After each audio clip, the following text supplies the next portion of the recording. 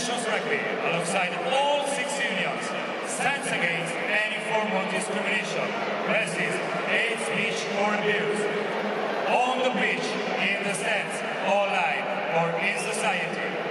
Discrimination and hate has no place in our sport or the world we all live in. See it, hear it, read it, experience it, report it. Il rugby dichiara scaduto il tempo dell'odio.